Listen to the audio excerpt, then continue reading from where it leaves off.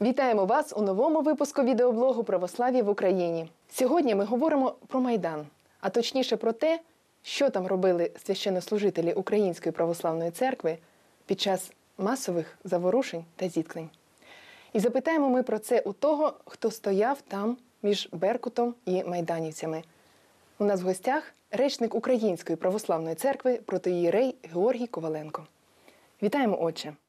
Ну, напевно, так сказати, казати, що я там дуже багато стояв. Я там бував, але все ж таки і вийшли, і стояли інші люди. Тому давайте я скоріш спостерігач того, що відбувалося, ніж безпосередній учасник.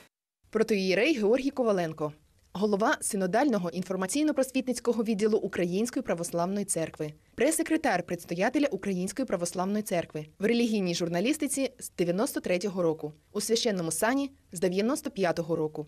Фундатор і шеф-редактор офіційного сайту Української православної церкви і порталу Православ'я в Україні, першого православного інтернет-ресурсу в країні з 1997 року. Випускник філософського факультету Київського національного університету імені Тараса Шевченка, одружений, батько п'ятьох дітей. Весь час, як тільки розпочався майдан, ви неодноразово в змі говорили про те, що наших священнослужителів Української православної церкви не буде на майдані і вони не мають там бути. А потім ми побачили спочатку трьох ченців а, у ніч з 20 на 21, а потім серед тих ченців, які вийшли між Беркутом і майданівцями, ми побачили і вас. То як так вийшло? Ну, по-перше, ми говорили дещо інакше. Ми говорили, що наші священники і наші віряни є як на Майдані, так і поза його межами. Що церква не ділить людей за політичною ознакою. І серед наших священників є ті, що там як громадяни, є ті, що навіть звертаються до людей зі сцени. І я був один з них, е, коли запросили. Ми прийшли і е, звернулися до людей. Так само серед наших священників є ті священники, які не благословляють взагалі ходити на майдан, і дещо категоричні є навіть е, взагалі е, можливості такої таких акцій, як майдан. Тому, скажімо так, церква була проти, і е, це було свідоме рішення проти того, щоб встановити молитовний намет на Майдані. Е, нам пропонували, але з першого дня ми відмовилися. І це рішення це не ну, не тимчасове якесь рішення, це рішення, яке виношувалося, є результатом досвіду, яку церква, який церква отримала за останні 20 років. Знаєте, те, що відбувається зараз в Україні. Е, дуже багато чого нагадує. Нагадує і початок ХХ століття, але ми там не були учасниками. Оце нагадує 90-ті роки, де ми вже були учасниками. Це нагадує 2004-2005 рік, де ми вже були учасниками. І якраз цей досвід і е, сформулював певні посили, які дає церква. Е, молитися треба в храмі чи в монастирі. І молитовний намет е, на Майдані, ну на той період, коли нам це пропонували, був таким самим недоречним, як молитовний намет біля Верховної Ради, який був вже, і які, де люди збиралися, е, щоб хресною ходою піти від лаври до ради, щоб помолитися не в лаврі, а біля ради. Тому для нас е, це принципова позиція. І якщо наш пастирський обов'язок вимагає від нас вийти до пастви і сказати зі сцени, ми на це готові. Якщо чернечий е, обов'язок і розуміння ситуації е, ченцями священнослужителями викликало в них бажання після двох діб силового протистояння, коли вже стріляли коли вже летіли гранати, коли летіли суміші Молотова, е, вони вийшли і стали між ворогуючими сторонами. Е, без будь-якого там погодження, дозволу. Це був їх християнський вибір. Це був мужній християнський вчинок. Ці люди вийшли, стали і припинилося протистояння на 22 години. І, до речі, поруч з ними стали і віряни, Е, до речі, багатодітні батьки стали люди, які мають різні політичні погляди. Церква демонструє, намагається демонструвати, тому що в нас так само є різні політичні погляди всередині. Але ми намагаємося продемонструвати ще дещо більше, ніж наші політичні погляди. Є церква, є Христос. І ми нагадуємо цим людям, що є дещо більше, ніж політика, чи партійні, чи геополітичні якісь е, вектори. Є Україна як ціле, є український народ як ціле. І ми маємо відчувати себе е, цілим, а не часткою. Бо це, знаєте, таке політичне сектантство. Церква це ціле. А секта це частина, яка видає себе за ціле. В цьому неправда сектантства, в цьому неправда партійного е, підходу. Коли партія, частина, видає себе за ціле, за все. А треба знаходити щось більше, ніж наші якісь е, погляди чи уподобання.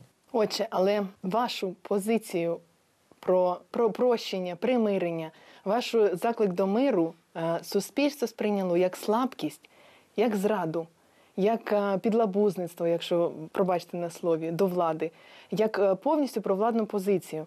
То що б ви могли на це відповісти? Я не знаю, що на це відповідати. Позиція церкви проєвангельська, а не провладна чи опозиційна. Е, Церква не випрацьовує е, політичної позиції. Церква не дає е, дороговказа для суспільства чи держави. Церква вказує на вічність.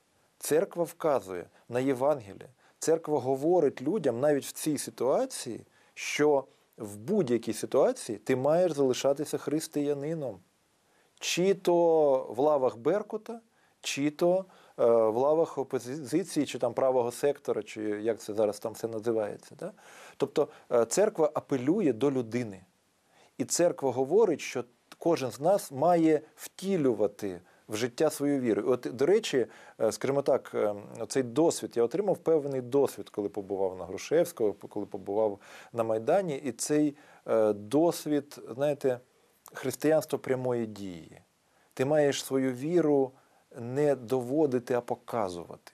Оці люди, які вийшли і стали між ворогуючими сторонами з Христом і іконами, вони показали свою віру, і Господь їх не посрамив. Жоден з них не постраждав ані на початку, і все припинилося, ані потім, коли все відновилося протистояння силове, коли їх вже використовували як живий щит. І тоді вони, побачивши, що протистояння знову почалося, вони перехрестилися і хресною ходою пішли. Тому що Господь давав шанс. Але чи використає людина його, залежить вже не від Бога і навіть не від е, того, хто проповідує віру, залежить від людини. Чи приймає вона Слово Боже, чи не приймає, чи намагається вона втілити свою віру в житті, чи не намагається. І от якраз такі події, як сьогодні відбуваються в Україні, вони, скажімо так, е, вимагають від нас іншого зору, іншого погляду, кута зору на те, що відбувається. Тому що, знаєте, границя проходить не між Беркутом і е, правим сектором. Границя проходить не між Майданом і владою, не між владою і опозицією.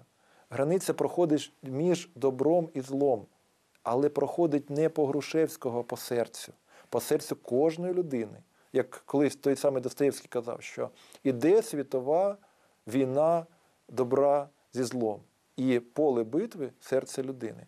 І от тут ми маємо побачити, оця людина християнин, бо діє по-християнськи. Оця людина в цей момент діє не по-християнськи. І ми маємо про це казати незалежно в одній ми партії з цією людиною, чи навіть в одній ми церкві цією людиною. Ми маємо е, говорити на певну дію, ми її можемо оцінити. Ми не можемо оцінити людину взагалі, бо кожен з нас міняється. І Господь дає час для каяття. Навіть е, той самий злочинець, який був розп'ятий зі Христом поруч, він, можливо, в своєму житті жодної доброї справи не зробив, але покаявся і першим увійшов в Царство Небесне. Чому тоді церква не називе винуватців, тих, хто чинить беззаконня, прямо не скаже, ось ці чинять беззаконня. Чому вона не виступить прямо? Це добро, а це зло. Церква прямо і виступила. Церква з першого дня засудила будь-які насильницькі дії з будь-якої сторони. І про це всі чули. На жаль, те, що сталося в країні, є е, результатом тотального порушення християнами і іншими віруючими людьми Божих заповідей. Не вкради це Божа заповідь, а корупція роз'їла всю Україну. Не бреши це Божа заповідь. А ми точно знаємо, що політики брешуть, що ЗМІ брешуть, маніпулюють. Ми про це знаємо. І фактично це формує е, наш світогляд. Тому я думаю, що нам варто очистити власну свідомість від брехні і маніпуляцій, від гріха і спокус. І, знаєте, перейти до каяття зміни розуму, зміни життя. Тому що без каяття взаємного прощення, примирення не буде. Без зміни розуму не зміниться життя, а без зміни життя нічого в країні не відбудеться. І ми це вже проходили багато разів. Але з іншого боку, знаєте, коли всі зрозуміють, що треба вже миритися, вони почнуть шукати того, хто завжди говорить про мир. От про цей мир завжди говорить церква. Про мир між, між собою і Богом, про мир між е, людьми, про мир всередині собі. Про це говорить церква. І вона про це говорила і буде говорити незалежно від того, які пристрасті вирують е, на е, майданах. Тому мені здається, що кожному з нас треба робити е, свою роботу. Політикам політичну, чиновникам державну, людям свою справу, в тому числі і протестну, якщо це потрібно з політичної точки зору. А церкві треба робити свою роботу. Бо всі вони, і політики, і чиновники, і люди, які взагалі не займаються політикою, рано чи пізно згадають про душу і прийдуть до нас спитати про душу. І от тут ми маємо їм розповідати не про те, як їм е, розбудовувати країну чи вести політичний процес, а про те, як спасати безсмертну душу. Подобається це кому чи не подобається, а церква має залишатися церквою, бо, це, бо царство моє, як говорить Господь, не від світу цього. Отже, і таке запитання. Ми сказали про покаяття, про примирення. Влада не покається, а народ е, ну, виходить, не пробачить. То що у нас немає виходу з цієї ситуації? Ці проблеми не відрізняються від того, що відбувається на звичайній парафії. Е, В маленькому будь-якому містечку чи селі ті самі проблеми. І е, коли ми кажемо влада, кого ми маємо на увазі? Більш того, звідки ми знаємо, покаялась людина чи не покаялась? Е, Ми чомусь всі знаємо, е, що іншому треба робити. І ніколи не звертаємо уваги на себе. А святе письмо говорить, що спочатку вийми ту колоду з власного ока, а потім побачиш, як допомогти ближньому. Чому ми, не знаю, е, засуджувати ми вміємо, а молитися за тих, хто грішить, не намагаємося. І знаєте, те, що неможливо людям, можливо Богові. Е, Навіть історики кажуть, що все повторюється в тому чи іншому вигляді. Нічого нового немає під сонцем, е, казав премудрий Соломон. Просто це відбувається зараз із нами. То може треба подивитися, як це було колись. Але найголовніше треба любити і Бога, і ближнього. І в ближньому намагатися побачити образ і подобу Божу, в ближньому побачити будь-яку, хоч маленьку християнську дію і привітати. Е, З ближнім треба розмовляти, ближнього треба намагатися зрозуміти, з ближнім треба порозумітися. І знаєте, якщо вже ми християни, то любити треба не тільки друзів чи однопартійців, любити треба ворогів. А знаєте, Навіть чиновника хамлу, вибачте. Це е, на цього Господь закликає. Що, знаєте, е, пробачити це не значить забути, що людина тобі зробила. Пробачити це значить щиро побажати, щоб ця людина відвернулася від зла і навернулася до добра, і помолитися за спасіння її душі. Бо Господь каже, що не будь переможений злом, але перемагай зло добром. Коли ми називаємо навіть справедливо чиновника хамлом, то це вже є гріх наш. розуміючи, що він, можливо, таким є, треба помолитися, Господи, дай йому розуму.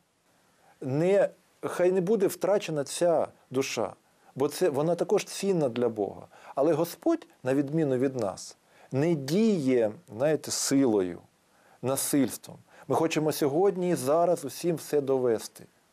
А Господь чекає, чекає переміни нашого розуму, чекає нашого навернення, чекає, щоб ми встали, коли падаємо. І іноді допомагає нам не впасти. Але ми все одно на цю допомогу іноді не звертаємо уваги. Але Господь, як е, люблячий батько, чекає навернення кожної людини. І кожна людина, знаєте, дасть відповідь за своє життя перед Богом. І тому, знаєте, поки є час і поки ми живі, є можливість щось змінити. Але змінити, наперш за все, в собі. Бо починати треба з себе.